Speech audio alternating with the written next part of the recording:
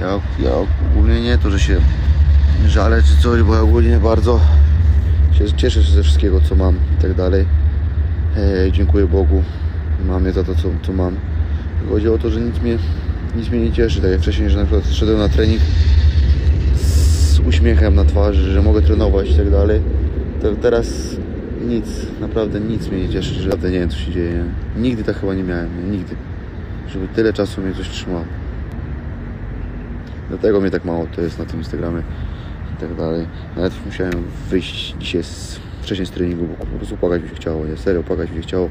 Łzy mi wreszcie tyle chciało, że nie mogę skupić nawet na treningu. Tak więc dziękuję Wam wszystkim za te wszystkie wiadomości, dziękuję za wsparcie. Mam nadzieję, że szybko wrócę po prostu. Wiem, że jestem przebodźcowany tym wszystkim i muszę dziś się na chwilę wyrwać chyba.